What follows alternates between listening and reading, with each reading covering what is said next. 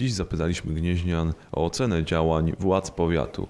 Nasze pytania dotyczyły głównie kwestii turystyki i promocji miasta, bezrobocia oraz służby zdrowia i były oparte na programie działań władz powiatowych, który został uchwalony na początku kadencji. Tu nie ma żadnej atrakcji. To jest miasto emerytów i rencistów. Wydaje mi się, że jest bardzo mało reklamy. Nie ma tutaj żadnych takich atrakcji, chociażby dla młodych ludzi. Zazwyczaj przyjeżdżają starsi, na przykład, no nie wiem, z Niemiec, żeby sobie odpocząć, ale młodych ludzi to tutaj nie przyciągniemy. Nie ma tutaj czym zaoferować. Ja mieszkam w, niedaleko, bo nie, nie mieszkam Wiedzie, tylko w okolicach i przyjeżdżam tu tylko na zakupy, bo nic innego nie ma dla mnie, co, co bym mogła tutaj zrobić. Zieleń bardzo ładnie, podoba mi się, naprawdę. Zieleń okej, no turystyka to tak, no nie wiem, ale zieleń bardzo ładnie, czysto, ładnie, parki ładnie zadbane. Tu o, na przykład na Chrobrego jak ładnie te, te kwiatki. Nie mam zastrzeżeń, mi się podoba. No raczej chyba słabo, mi się wydaje. Że, to, że, że to słabo jest jednak jest promowane nasze miasto. No raczej jest pomijane chyba przez to, przez to, przez to właśnie nasze gniezdo pomijane, przez to właśnie takie, że Poznań, Poznań, wszystko w Poznaniu, a w gnieździe już nie ma, jakby nie było, nie, jakby tego gniezda już nie było, nie? Tak mi się wydaje to. Że jest przez to pomijane, przez, przez Poznań. Czy wobec tego miasto Gniezno można nazwać miastem turystycznym? No chyba raczej nie. Jednodniowy.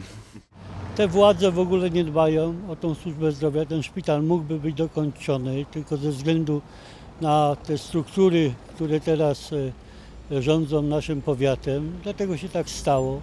A służba zdrowia w całym kraju kuleje. Jeśli w Gnieźnie nie ma różnych takich zabiegów, a w Trzemesznie, we wrześniu ludzie muszą jeździć, no to co o tych rządzących można powiedzieć? No, muszę, muszę powiedzieć, że w Gnieźnie dużo się bardzo zmieniło, nie? No, mamy ładne chodniki, ulice, no i ten targ. No i nie wiem co dalej. Znaczy powiem panu tak, że moim zdaniem jest źle, ponieważ jakby było dobrze, to po prostu no, nie musiałbym się stąd wyprowadzać, tak? Bo to jest moje rodzinne miasto i zmuszyło mnie do tego, żeby powiedzmy się wyprowadzić e, no, 20 lat temu, tak?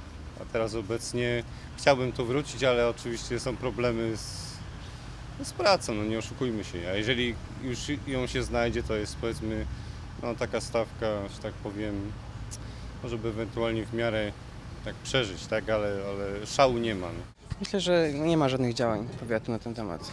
Nie przeprowadza nic, żeby było mniej bezrobocia w Gnieźnie. Jeżeli ktoś chce znaleźć pracę, to znajdzie, ale dla takich ludzi, których jest ciężej z pracą i mają jakiś słabszy zawód, to jest naprawdę ciężko. To, co robi Urząd Pracy, to, to jest parodia raczej. A dlaczego? Jak pan sądzi? No bo skoro ludzie dostają y, skierowania do jakiejś firmy, a okazuje się, że albo już jest nieaktualne, albo właściciel firmy dzwoni do nich, że nie mają mu ludzi przysyłać, a oni cały czas przysyłają ludzie. I to jest mielenie powietrza tylko. Przykład mam na mojej synowej półtora roku nie miała pracy.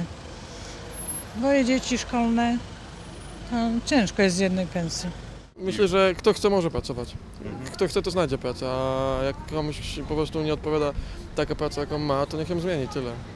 Myślę, że jest promowane, wystarczy spojrzeć na żurze, tam jest napisane, że Gniezno pierwsza stolica Polski, to powinno już wystarczyć.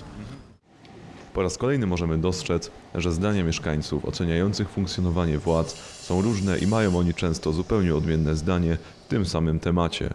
Naszym czytelnikom i widzom zostawiamy ocenę argumentów przedstawianych przez osoby pytane w sądzie.